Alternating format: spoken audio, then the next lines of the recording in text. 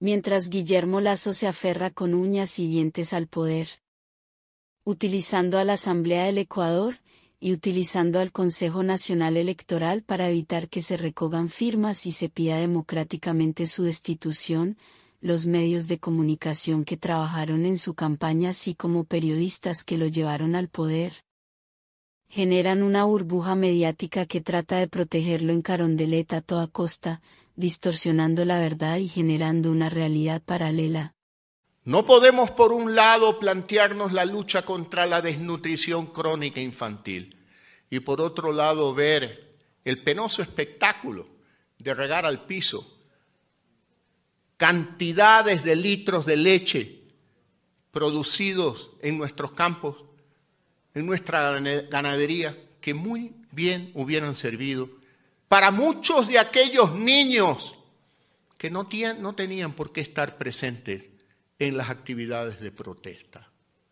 Yo llamo a los organismos internacionales, a los derechos humanos y particularmente a la UNICEF, llamada a cuidar los derechos de los niños, niñas y adolescentes, que se pregunten, ¿qué hacen los niños en una protesta social donde infiltrados provocan violencia, violencia para herir y hasta para matar gente. Yo creo que tenemos que reflexionar.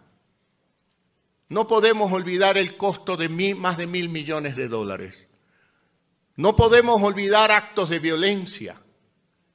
No podemos olvidar el uso de niños y de mujeres como carne de cañón para proteger actividades violentas de infiltrados que han participado en estas y otras manifestaciones con un solo propósito, destruir el orden constitucional.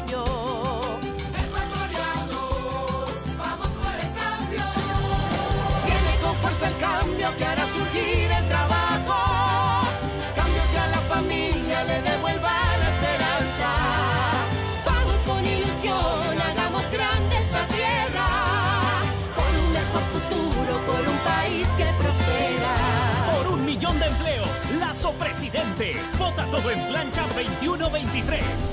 Presidente Guillermo Lazo califica de mellizos conspiradores a Rafael Correa y Jaime Nebot el exalcalde dice que le da lástima el estado emocional de Lazo. En esta ciudad de Loja eh, se realizó el 14 gabinete binacional en el que participó el presidente Guillermo Lazo y su homólogo peruano Pedro Castillo, señor Rafael Correa, el señor Jaime Nebot, juntitos estos mellizos desde el primer día de mi gobierno están viendo cómo desestabilizan la democracia ecuatoriana, lo que está sucediendo en la Asamblea Nacional.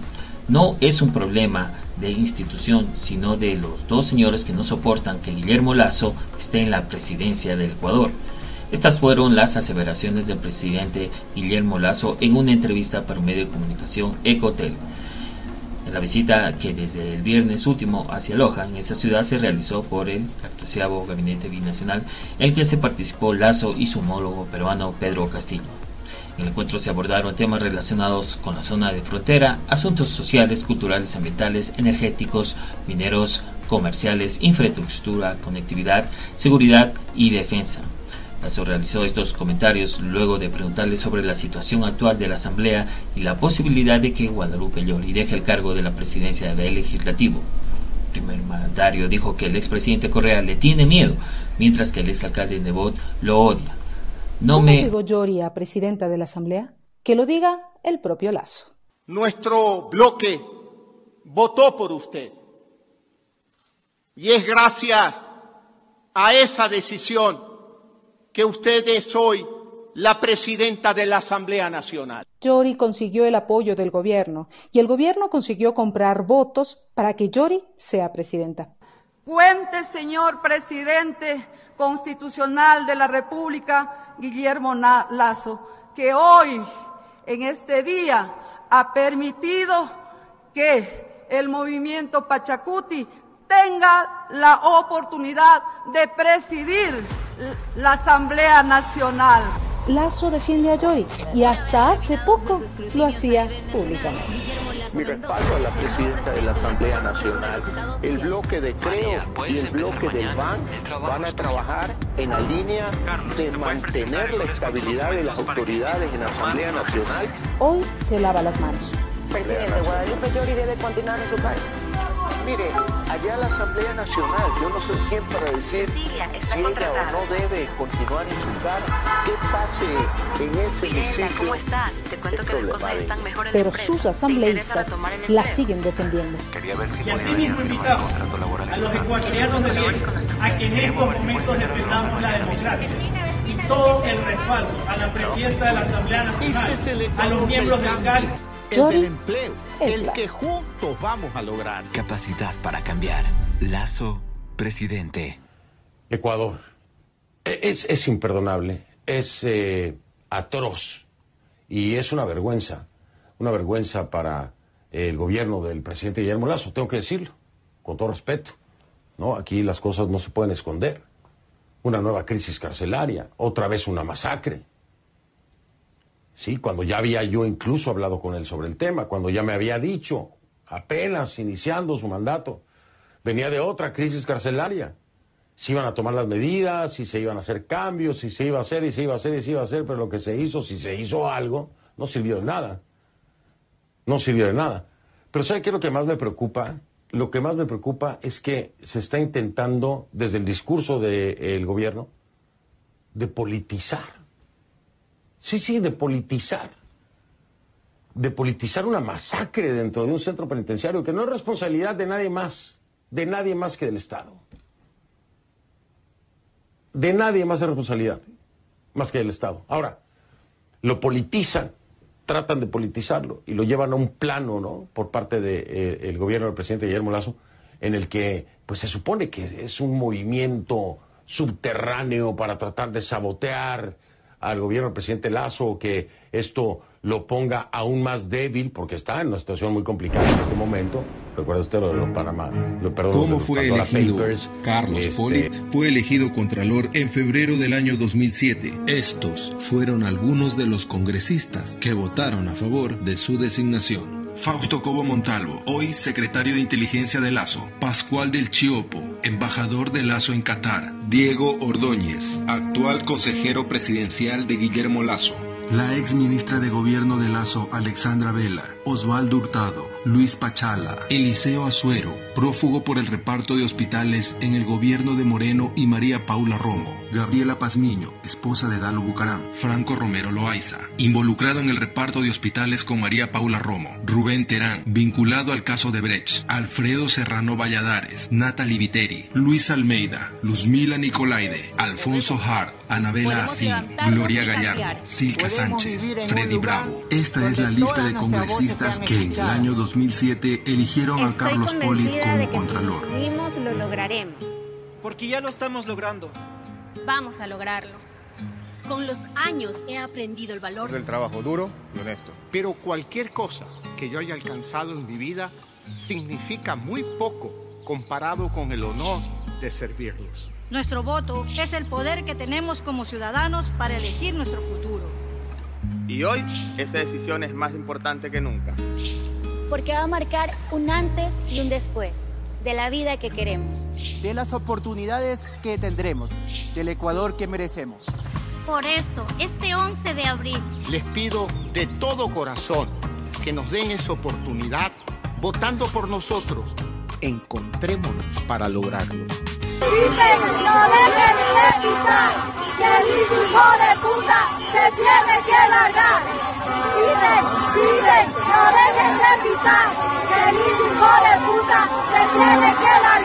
Aquí estoy, patria muerte. Tenemos rodeados a estos malditos. Os vamos a saquear. ¡Quemen los camiones! ¡Háganlo! Pues puta. Maricones de mierda. Estos son camiones. Los tomamos para que vean que el pueblo es mejor. Ya linchamos a dos militares de camionetas, de camiones. Ahorita vamos a linchar a esos malditos policías en los buses. Respira suave, hermano, respira suave. Ahí está. ¡Vamos! Puta, creían que se iban a salir con la suya los maricones. Este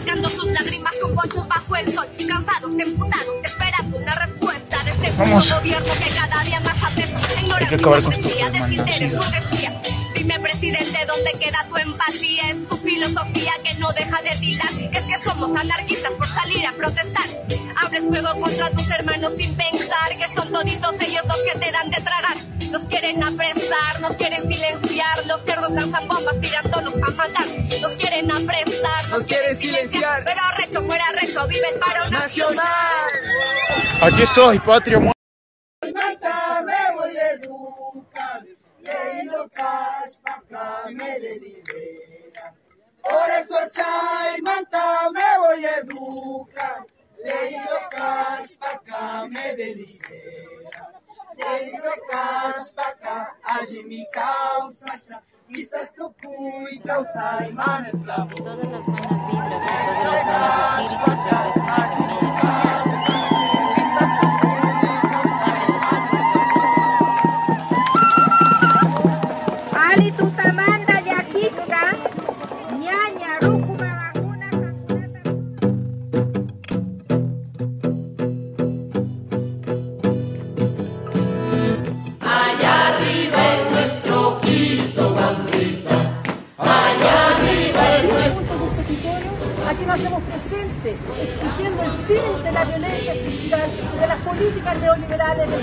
de Lazo, exigiendo fin a la criminalización y la persecución de los defensores y las defensoras de las aguas y los territorios, y estar atentas y atentos con la libertad de los presos y presas de esta revuelta.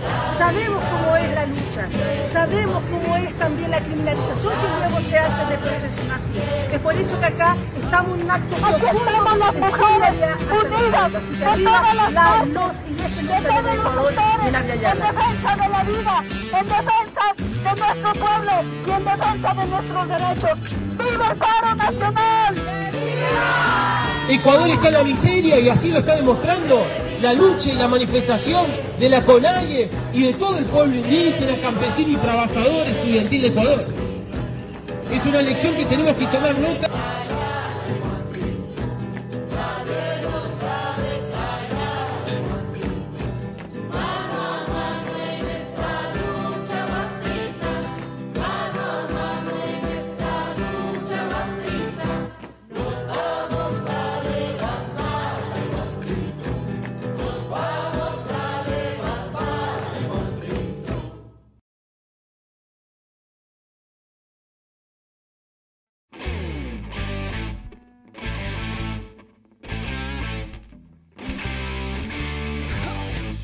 Este es el silbado de los ancestros, de los que nunca se fueron, de los que nos esperan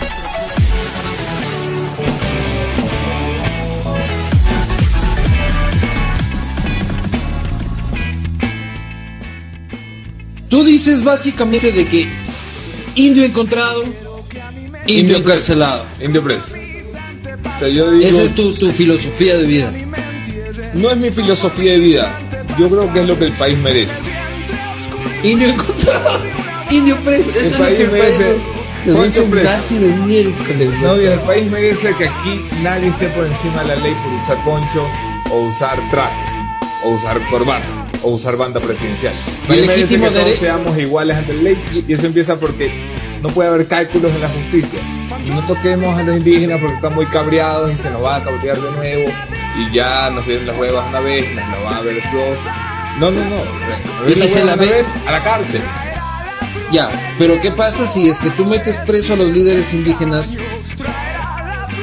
y se vuelve a reactivar el relajo? Y otra vez estamos sin poder venir a Pamari. Metemos Este, presos otros 200. Y si esos no alcanzan, metemos presos otros 200. Y cuando se acaben, pues Cuando se acaben.